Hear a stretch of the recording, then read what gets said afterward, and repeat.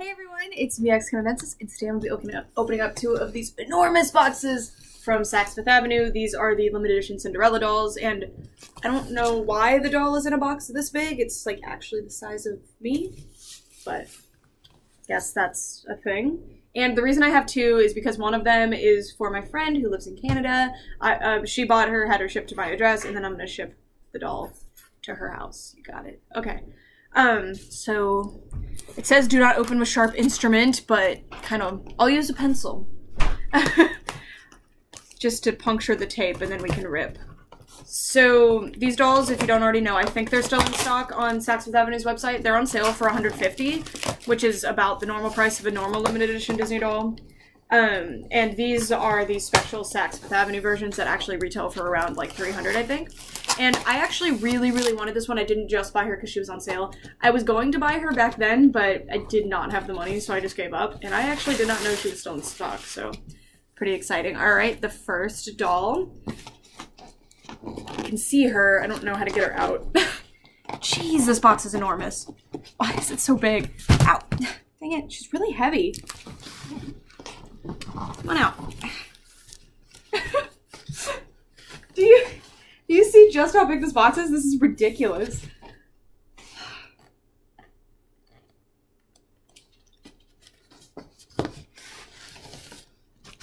Okay, I'm gonna dump.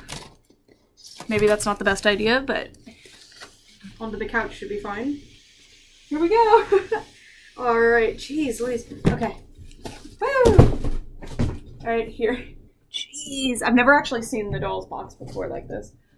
All right, so here's the first one, and the box is in great condition. Um, actually, no, it's not. It's kind of scraped up. Looks like it was on display at a store and got played with a lot. Um, says this. I can't even be in frame. It says the Cinderella collector doll. Disney is proud to present the limited edition Cinderella doll that captures the timeless, her timeless beauty. Disney artists have brought to life one of Disney's most iconic princesses in extraordinary detail. Inspired by Cinderella's grace, this doll features an extravagant skirt, embroidered metallic silver lace.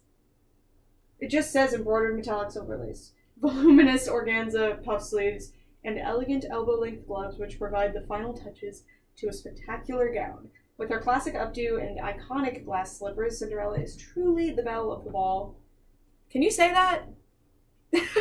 Isn't that referring to Beauty and the Beast Belle? um, making this doll a treasured addition to any collection.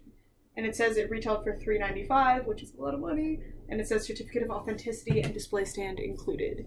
All right, so it looks like you just, it's like magnets. Try not to hurt this box in case the other one's shredded.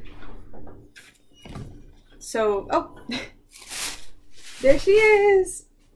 Okay, so she's really big. This box is enormous! Wow, okay, so this box is in reasonably good condition, but I kind of hope the other one's in better condition so friend can have the better one, but we will see. So now I'm going to put this one aside and we're going to open the next one. And then I will open up my doll and give you guys my, you know, review slash raving because I almost never don't like something. I'm actually kind of a negative person in real life, if you can believe it. I just really like dolls. I don't think I'm actually very negative, but I do complain a lot, and I don't do that with my dolls. Okay. Jeez, this tape is really strong. Ouch. Okay. Um, there we go. And then we're going to dump this one out, same as the last one. Seems like the only way. All right. Woo! Here she comes. All right, let's throw this aside. Gonna get noise complaints. All right, here is doll number two. Um, God, it's hard to tell which box is in better condition. This one looks a little bit better, so I think I'm going to give this one to my friend. Let me see. Oh, there's a crease up here. Um, let's see. So this one has a crease right here. But what I was looking at is if you want to display this doll opened in the box, there's these big ugly magnet spots on the other one and they're not as pronounced here. But let me see if there's any creases on the other box. Um Yeah, this one doesn't have as many creases and shelf wear damage, so I think I'm actually going to set this one aside for her. Um, or no, the front of the box has this big ugly. Hmm. Okay, wait. Because of this, because it's directly on the front, do you see that? Sorry, this is like making this decision live. Um, there's that big ugly crease, and also this box, like I said, was super scratched up. And the crease on this box is at the top where you can't really see it. Um, so I'm going to go ahead and set this one aside for her. I think that's the best decision because the front of the box is just in better shape. Um, I'm not an inbox collector, so I hope that my judgment was the correct judgment. Anyway, now we have my Cinderella, which is the first one that I opened. Um, and I'm gonna get her out of here. So it looks like there's some sort of. This is actually just a. Okay. So they just made a ridiculous amount of cardboard for this box for some reason. Uh, Where am I gonna put this box, man? Oh my god. I don't have space for this. Um, very cool. I like, I think if I were to keep her in box, I would display her like this. This is a lot cooler. Um, I want to get her certificate if it's around. Oh, you gotta get the plastic off. And her plastic is basically just, um, uh, when she transforms into Cinderella for the first time. It has all those pretty fairy dust things. That's what that is. Um, and then my mine is number 368. That's a very low number. Hmm. Um, and mine unfortunately has a little bit of a printing defect on the number, but again, I don't really care. I don't really see the point of a certificate of authenticity. If someone could bootleg one of these, I would be I would be shocked. um, Brett Brett forgot to grab scissors, and I think he's busy. Let me set this aside. So this is the back of the box. Just that somewhere. Jesus, this box is enormous. Okay, so here is Cinderella. I hope the lighting is okay. Um, it's kind of washing me out, but I think it's good for Cinderella because it gives you the impression of all the, the sparkles and cuteness on the outfit. And I'm so sorry about my hair. I wish I had a hair tie here, but I don't. Um, let me go get scissors.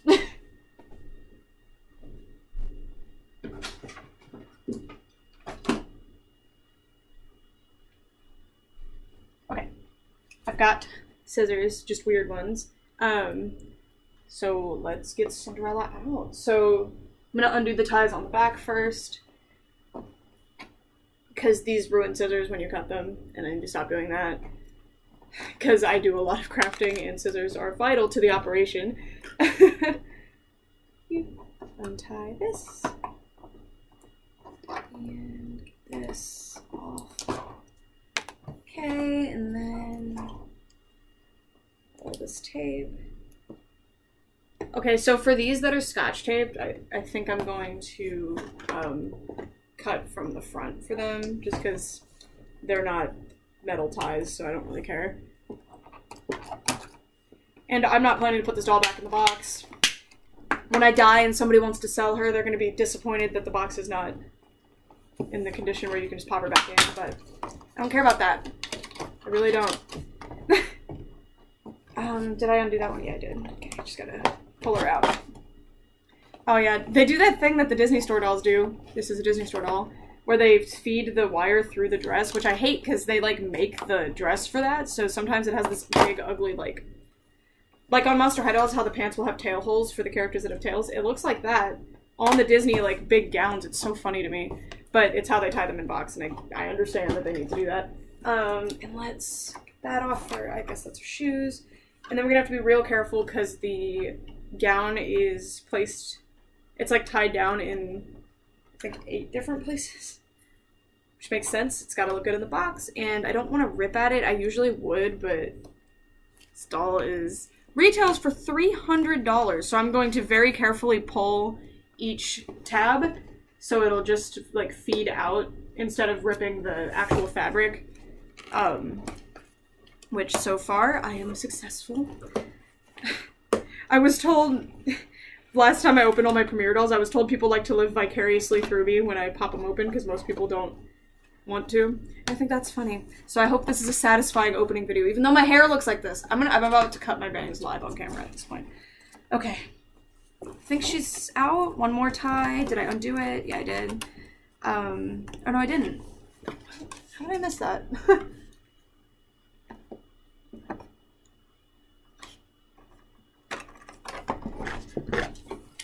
She's free and upside down. let's put her little back background aside. I think if I were to ever put them back in the box, I would just put them on the background because the backgrounds are always really cute, especially on the premiere dolls. Okay, so this tie is through her updo, and I really don't want to ruin that. Did they really tie it? Let's see. I don't want to ruin the updo because I would not be able to fix that. Okay, that's out, and then let's get these off. This is like the this is the point of no return, guys. The point of no return is when I cut the first tape. All right. What is that? Okay, get that off. So already, the way they packaged her with the rubber bands to keep the gloves up, which didn't actually keep the gloves up, it left an imp- like a shiny impression on her skin. Um, you can't see it at all, but um, it's very interesting on a four hundred dollar piece. uh, now let me get the ties off here because I'm not a fan of these little ties. I don't want them all over my things. Um, these ties too that they usually use on their feet always leave these big ugly marks. And thankfully the limited edition dolls don't have the rubbery legs, at least the 17 inch ones don't. So you don't get the big impressions, but probably still get those ugly shine marks. Okay. So what I'm noticing is that her skin is super shiny and I don't actually have any limited edition dolls that are um, pale like this. The only 17 inches that I have, well, no cartoon ones that are pale like this, so I can't confirm if this is just the normal skin tone they do or if she's slightly iridescent. Um, but she's like, she sort of shines with her skin. I don't, move the light. So bright. Ah! It almost fell. My lamp is one of those really expensive OttLites, and for some reason the stand, it just does not, you can't screw it in. Oh, it just fell out. No! Why is everything going wrong? Come on. Gonna try to screw it back in. Okay, that's, I think it's holding up now at least. Yeah. Come on. Okay. It's a lifetime thing here. Okay. Um, so just first impression, she's amazing. She's so beautiful. I love her so much. So for starters, like knockout face. I think her face is absolutely beautiful, and I hope this weird lighting can show you it. Just yeah, there you go, super pretty, and the big um, rooted lashes are great. Her makeup is it's actually pretty minimal, but it's gorgeous. Um, and her choker even has rhinestones on it, which is pretty cool. Um, iconic Cinderella piece and kind of a twist on it. She's got these little rhinestone, like Swarovski crystal earrings, and her headband also has rhinestones on it because she just she's all glammed up right now.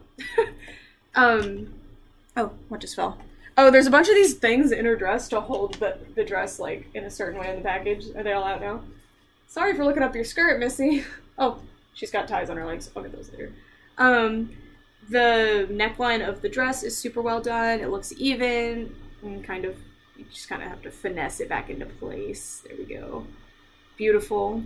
I adore the front of the corset here between the two boning layers. Really nice arrangement of rhinestones. It looks very nice. Um, and then this is tied down. I'm probably not going to move it. Um, unless I want to take some picture with it fluffed up. But I don't know what you would call this, but it looks great. And I've always loved that part of Cinderella's dress. It looks like the dress is two pieces. Let me confirm. Yeah, okay, so the dress is two pieces, but it's um, tied down right here, so I'm not going to mess with that. Um, it's just easier to make a dress two pieces, especially when most of these dolls are never going to see the light of day, so it's fine. Um, the dress is actually completely detailed, even onto the back, which is awesome. It's swirly, it's got all its rhinestones, the, everything continues onto the back. With dolls, you really don't get that, so that's really cool. Um, the only thing that's not is the headband, but um, doesn't really need to be. I'm actually surprised that the headband is Velcro and not the it's like not the right width. That's very interesting. Um, her updo is actually surprisingly simple. It's just um, super curled hair that's gelled and put in a ponytail. Looks good, regardless. um, the dress is just unbelievable. It's enormous. Let me like. I think this could fit a small toddler. This amount of fabric. that is unbelievable. Really big circle skirt. Just think about how much fabric that took to make. Like, because you have to cut the circle out of. Oh, that looks so cute with her up in the front like that. Um, and the dress has several layers. So there's the embroidered um, organza layer, and then underneath we've got. Oh, this is like a mesh almost. Very cool, and it's iridescent, see through. And then you've got the normal satin underneath, and it has some kind of. Um, I wouldn't call it boning because it's really thin and pliable, but there's definitely something to keep the rigidity. I need to cut my bangs again. I'm trying to grow them out. Sorry. Um, there's something in there to keep the skirt super rigid. So there's four layers to skirt. Is that what I counted? I do. I think three. So that means just think about how much fabric that was. Just, just saying. I make costumes, and like the amount of fabric you use on some things is surprising. And this would be one of those things where it's like, if you were to try to recreate it.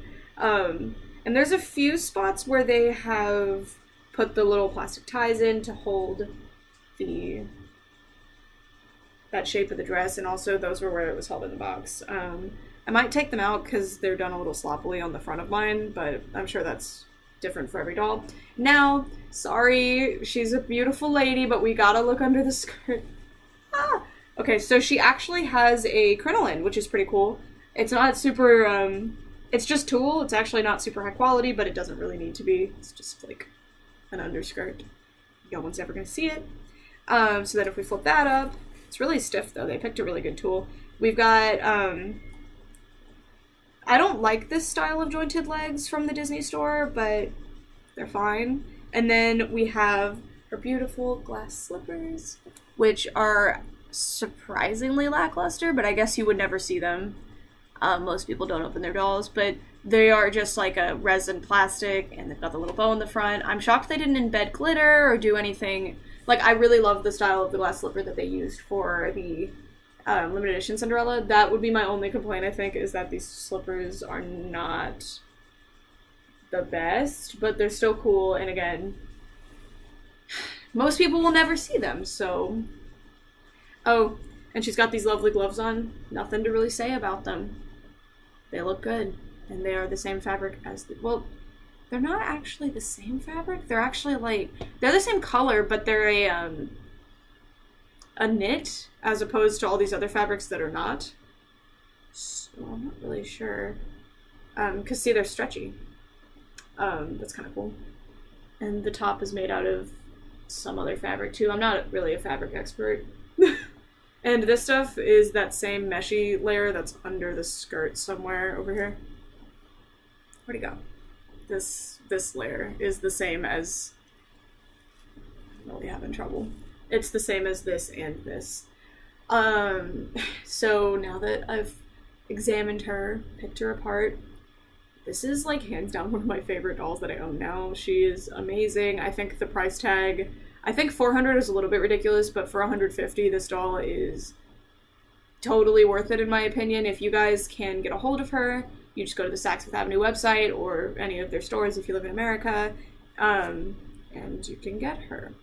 Um, sorry that the comments, if you made it to the end, I'm sorry that the comments are disabled on this video. YouTube took away all the comments of any um, channels they deemed were run by people under the age of 18. I'm almost 20, but I got hit and they refused to do anything about it, so it's just kind of been a thing for a while for me, unfortunately. But um, yeah, so if you want to chat with me, my Instagram is xcanadensis, same way it's spelled here. Um, that's mostly where I'm active, so that's where I would say to talk to me. If you want to comment on this video specifically and you only have YouTube, I have a YouTube community page where comments for some reason work and you can comment on any of those posts. I try to look at them every now and then, but it doesn't notify me when they come through, so I would recommend commenting on the most recent one if you want me to see it. Um, but with all that, um, I highly recommend this doll, whether you're an in-box collector or an out-of-box collector. I do think the size of the box is a little bit ridiculous.